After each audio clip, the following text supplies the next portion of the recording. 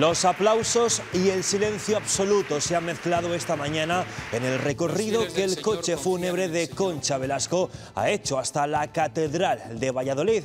Así entraba pasada las 12 para celebrar un funeral multitudinario.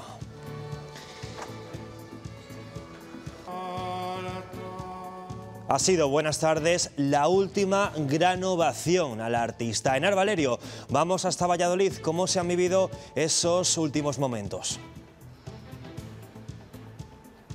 Se han vivido, como dices, con mucha emoción, porque ha habido centenares de vallisoletanos que se han querido acercar a despedir a Concha Velasco, a darle ese último adiós, como dices, con un silencio muy emotivo, pero también con aplausos e incluso flores. Los vallisoletanos además han acompañado el cortejo fúnebre hasta aquí, hasta la catedral, pero también después a su salida hacia el cementerio del Carmen, donde acaba de ser enterrada en el Panteón de Personajes Ilustres de la ciudad.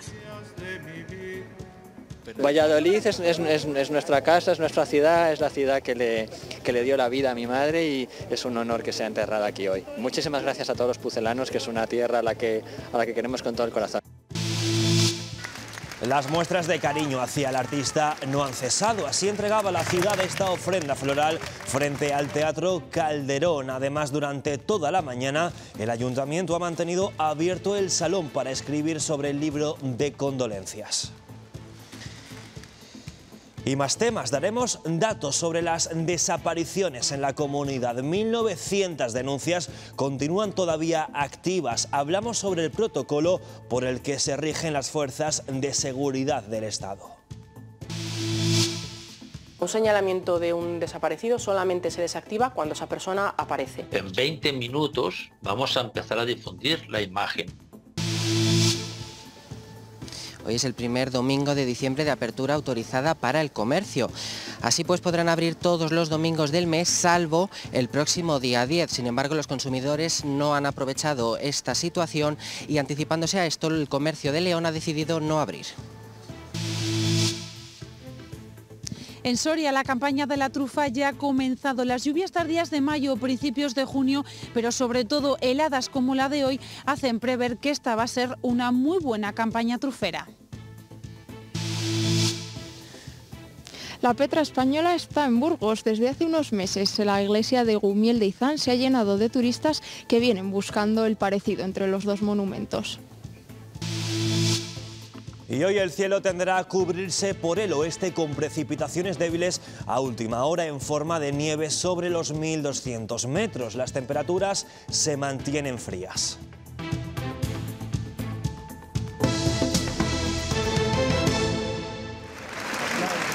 Este es el momento en el que al paso del coche fúnebre la ciudad de Valladolid entrega una corona de flores frente al Teatro Calderón. Ha sido minutos antes de llegar hasta la catedral.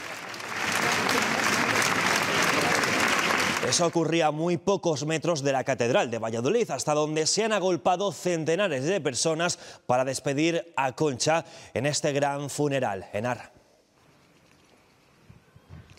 Sí, los alrededores de la catedral se han llenado de admiradores, como decíamos, y el interior de amigos y familiares que han querido dar así el último adiós al artista vallesoletano. Ha sido una misa funeral oficiada por el arzobispo de Valladolid, Luis Argüello, en la que incluso hemos podido escuchar uno de los temas que más famosos eh, le hizo a Concha Velasco, La chica Yeye, se ha podido escuchar dentro de la catedral. Ha sido un emotivo homenaje, un último adiós a una artista polifacética, como han querido destacar aquí los ministros de Transportes e Igualdad, los vallisoletanos Óscar Puente y Ana Redondo. Por su parte, el presidente de la Junta de Castilla y León también ha destacado el carácter conciliador de esta gran artista, de quien ha destacado todas sus cualidades como actriz, una actriz que además recibió el premio de las artes, el premio de Castilla y León de las Artes hace 10 años, en 2013.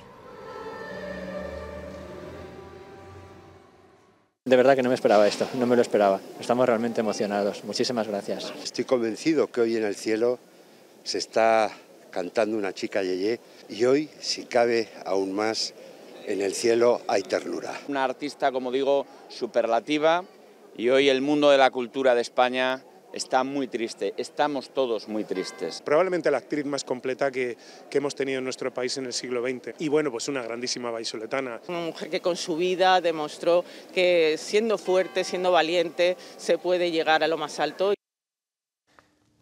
Y anoche los Reyes enviaron un telegrama a la familia lamentando que con ella se va la actriz, cantante y bailarina que les acompañó desde siempre con su sonrisa.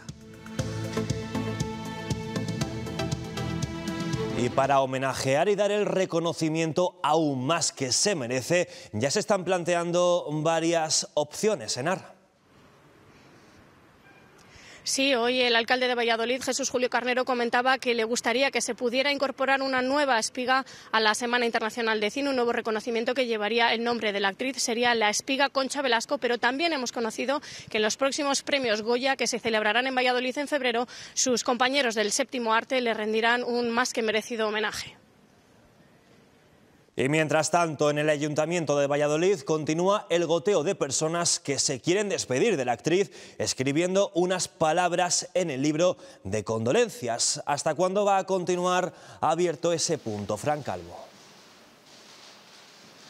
Pues quedan pocos minutos porque a las 3 de la tarde se cerrarán las puertas de este salón de recepciones hasta donde se siguen acercando multitud de personas para despedirse de una manera más personal de Concha Velasco. Los que lo desean pueden escribirle unas palabras de cariño en el libro de condolencia recordando sus obras de teatro, sus películas o sus canciones. Otros también se acuerdan de sus visitas a Valladolid y de la cercanía que la actriz tenía con sus paisanos.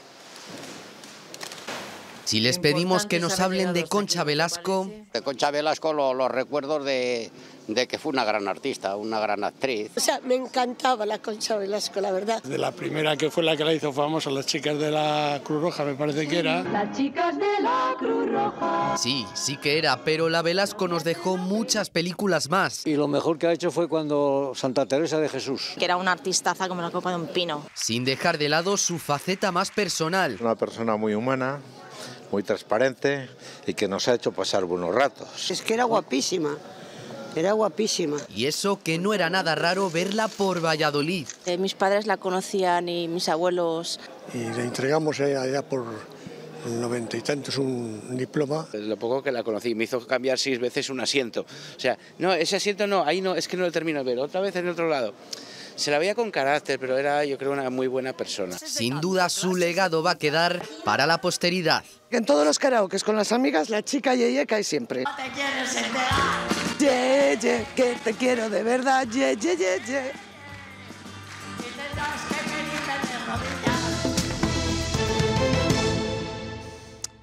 El año pasado en Castilla y León se tramitaron 1.438 denuncias por desaparición.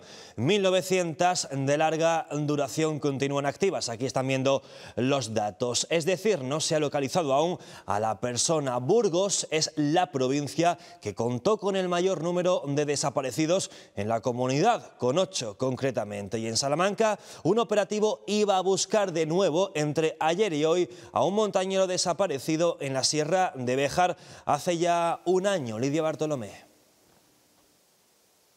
Sí, aquí en Salamanca se sigue buscando al montañero que desapareció hace casi un año, en concreto el 29 de diciembre del 2022 en la Sierra de Bejar. José Antonio, de 45 años, era natural de Cataluña y había venido a pasar las Navidades al pueblo de su pareja cuando salió a realizar una ruta senderista por la zona de Candelario. Fue ahí donde se le perdió la pista. Desde entonces se han organizado numerosos dispositivos de búsqueda, aunque todos han finalizado sin éxito. De hecho, este mismo fin de semana la Guardia Civil tenía previsto hacer un macrooperativo donde iban a participar numerosas unidades, aunque finalmente sí ha tenido que suspender por las malas previsiones meteorológicas.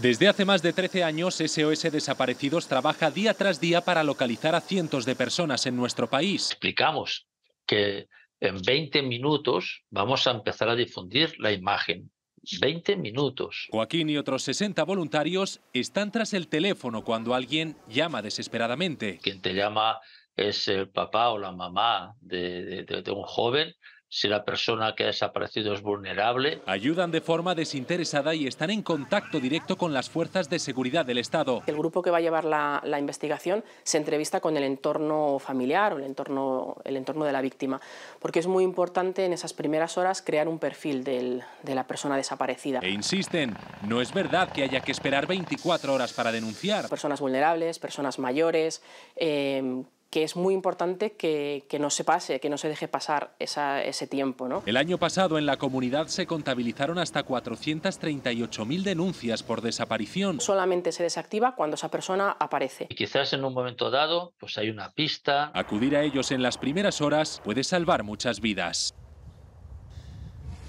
En esta finca que están viendo de Murcia detenían la semana pasada al líder de una secta donde se consumía mercurio purificado. En las, en las ceremonias se distribuían sustancias psicoactivas para someter la voluntad de los asistentes. Hemos hablado con un experto zamorano en sectas para que nos cuente cómo siguen operando centenares de ellas en toda España.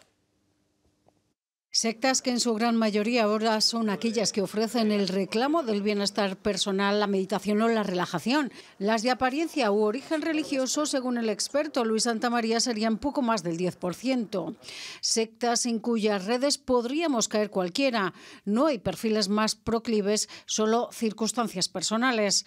Además, ahora se valen también de las redes sociales. A lo mejor en nuestra ciudad o en nuestro pueblo hay pocas sectas o ninguna, eh, con un espacio físico, con personas reales que nos pueden parar para decirnos algo, pero ahí está Internet con todas las sectas del mundo a nuestra disposición o nosotros a disposición de ellas. Cada vez conocemos más casos de, de personas que, que han entrado a través de las redes sociales. Nuevas tecnologías que sirven de captación y también de herramientas de control. Telegram, de WhatsApp, de, de cualquier herramienta de estas que pueden servir para las sectas para llegar a controlar eh, la información que llega al sujeto y llegar a determinar toda su vida. En todo caso, según Santa María, sí se puede salir de una secta. Lo difícil es la vuelta a la realidad, el recuperar la personalidad que la secta había suprimido.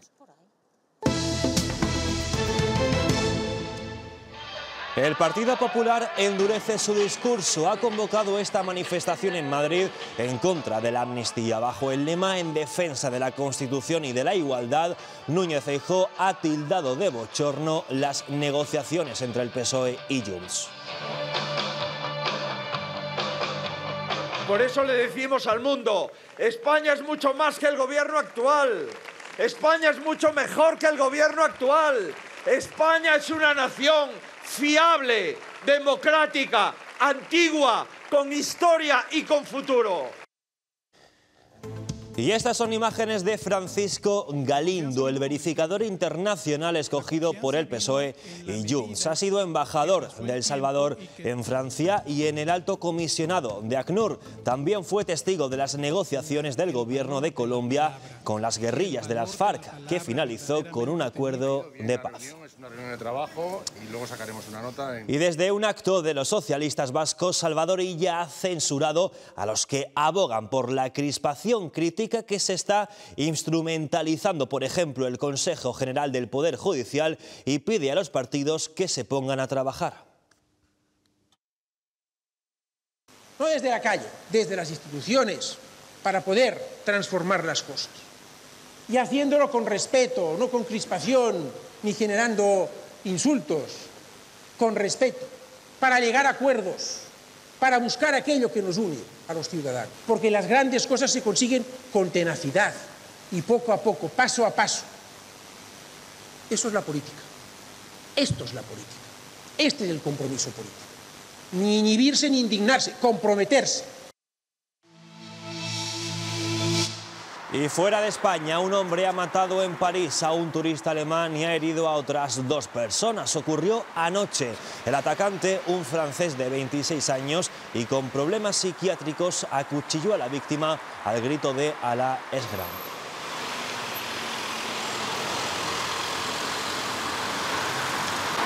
Y después de la tregua se intensifican los ataques en Gaza. Más de 700 palestinos han muerto en las últimas 24 horas y jamás asegura que no liberará más rehenes israelíes hasta que no haya un alto al fuego. Mientras llega a cuenta gotas la ayuda humanitaria. 50 camiones han entrado en la franja.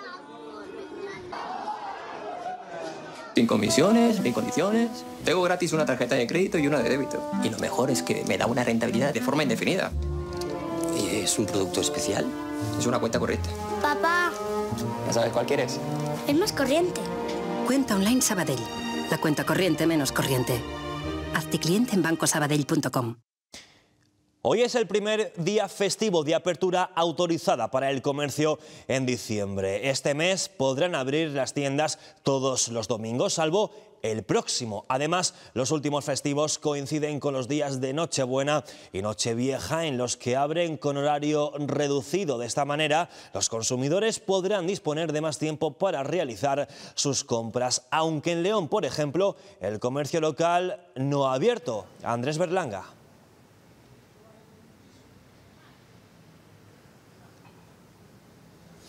Primer domingo de apertura autorizada en diciembre para los comercios de Castilla y León que pretendía ser el pistoletazo de salida para las compras navideñas. Sin embargo, aquí en León el comercio local ha optado por no abrir y frente a esto están como alternativa los centros comerciales a los que únicamente han acudido aquellos que no pueden comprar otro día de la semana. Las bajas temperaturas, la posibilidad de comprar otros días del mes y el hecho de dejar las compras para el último momento son las causas de, que la poca actividad de esta jornada esté únicamente en los centros comerciales. Supongo que será por la costumbre de, de no abrir los domingos nunca. Y... Mm, Depende también a lo mejor de los trabajadores, que abrir en domingo es muy fastidiado. ¿eh? Aquí, por ejemplo, tienes todo eh, agrupado en un chisme y bueno, oye, casi no te mueves de aquí, no tienes que andar y estás calentín y todo. Bueno, pues por el frío, he cogido el coche también y he dicho así, no paso frío.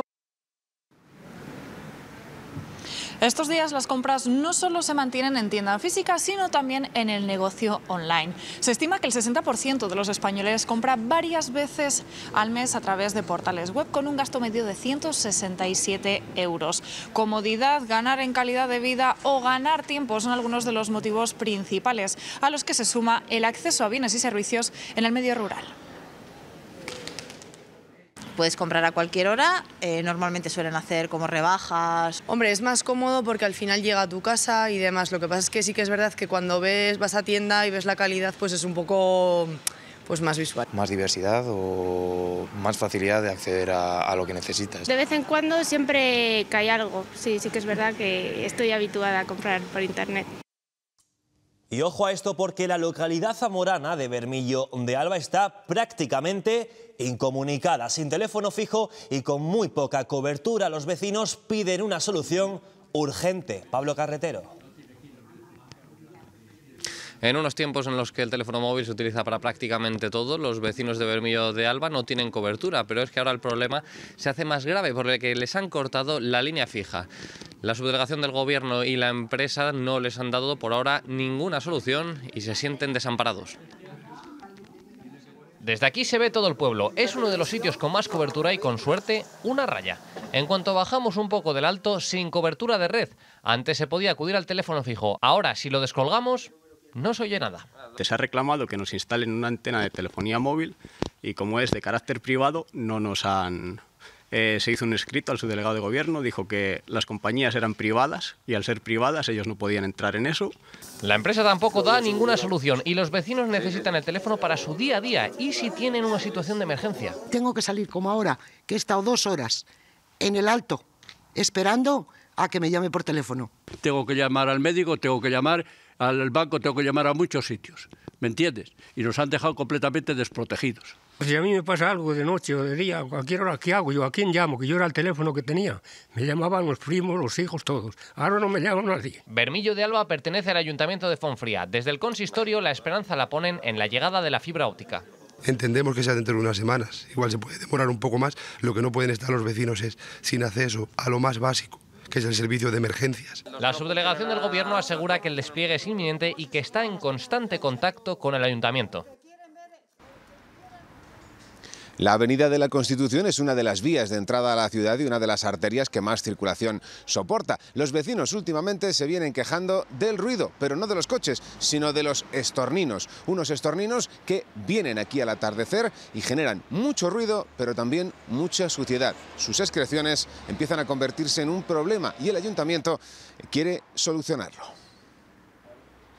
El ayuntamiento actualmente tiene contratado un cetrero este cetrero hace unos trabajos de disuasión a través de animales y de otros, otros sonidos en los que intentan mover esta colonia de, estorninos que este año eh, dado a las altas temperaturas que todavía hemos tenido eh, hasta, casi, hasta casi hoy, pues no han, no han, migrado. No han migrado, son una colonia bastante, bastante amplia y por conversaciones que hemos tenido con la persona, con el cetrero encargada de, de hacerlo, pues la verdad que le está costando mucho desplazarlos a, a las zonas exteriores de la ciudad. Los productores de trufa negra de Soria aseguran que esta va a ser una muy buena campaña. Sujetos a la climatología, eso sí, dicen que las previsiones son bastante positivas. Frente a la sequía del año pasado, las lluvias de estos meses parece que han sentado bastante bien. Andrea Altelarrea. Sí, las previsiones para este año se prevén buenas o al menos mejores que las de la campaña pasada, aunque ya nos dicen que todo depende de la climatología. Los productores de, trufa ya han comenzado con la recogida. Algunos llevan semanas cogiendo las primeras trufas. Aquí en Soria, además, esta empresa lo hace de manera especial. Con esta cerdita son los únicos en España que recogen la trufa de esta forma. La recogida de la trufa arranca bien pronto por la mañana. ¿Dónde? ¿Dónde está que no la veo? ¿Dónde? Puya tiene siete años y está adiestrada para buscar trufa. Es la única en España que cuenta con licencia. Es una cerda enana de raza mini pig, de... pero le hemos adiestrado desde chiquitina, desde tenía dos meses los productores este año se están frotando las manos. La campaña ha empezado en fecha. Eh, el año pasado, por ejemplo, hasta mediados de enero no, no hizo frío, no heló, entonces la campaña se alargó mucho hasta enero. Eso fue perjudicial porque mucha de la trufa se, habría se había estropeado. Este año pues bueno, eh, los fríos han llegado antes. Soria es uno de los grandes productores y exportadores de trufa negra, la auténtica. El 80 al 90% de la producción va toda al extranjero. Y del cuidado de las plantaciones depende la calidad del producto. Caracteriza eh, la dureza del campo, eh, la climatología extrema que tenemos los fríos. En definitiva, una joya culinaria con sello soriano que se podrá disfrutar todavía más este año en nuestra gastronomía. El uso de productos vegetales con finalidad terapéutica está en alza. Cada planta tiene un principio activo y se puede dosificar perfectamente para diferentes enfermedades, digamos. Es el uso de plantas para, para ayudar en enfermedades. La conocida como fitoterapia cuenta con aval médico y sus usos van desde la prevención hasta la medicación para diferentes dolencias. Las plantas medicinales no son para dolencias, eh, infecciones muy graves, cosas muy serias. No. El consumo de plantas eh, mejora la, calidad de vida del, paciente o, incluso puede llegar, a, en muchos casos, para pequeñas dolencias crónicas, a sustituir una medicación en algunos supuestos oncológicos puede ser un complemento que favorezca la quimioterapia. Plantas que ayudan, a, por ejemplo, a mantener las defensas en un tratamiento de quimioterapia o alimentos eh, muy nutritivos que van a hacer un aporte extra de proteínas que es fundamental en un tratamiento oncológico. La eficacia demostrada en hongos es superior a la de otras plantas y sus garantías de seguridad están demostradas. Es muy difícil, eh, digamos, eh, llegar a intoxicarte, por no decir es imposible, porque tú te puedes tomar un poquito y tienes poca efectividad o te tomas por error tres veces eh, más y no pasa absolutamente nada. Recuerdan que la fitoterapia debe ir supervisada siempre por profesionales.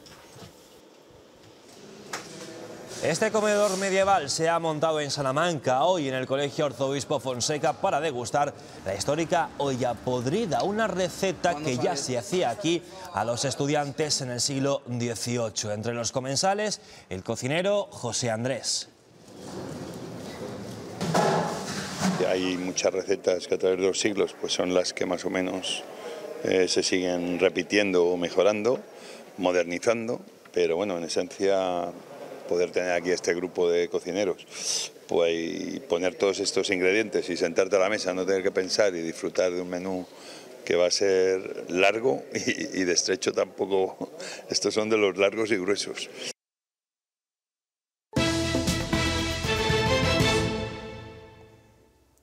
Este espacio da buena cuenta de la relevancia internacional de Adolfo Suárez, una de las últimas novedades en su casa natal, la colección de medallas y condecoraciones cedida por su hijo, entre las que destacan estas dos, la Real Cruz y el Real Collar de la Orden de Carlos III, las máximas condecoraciones civiles en nuestro país.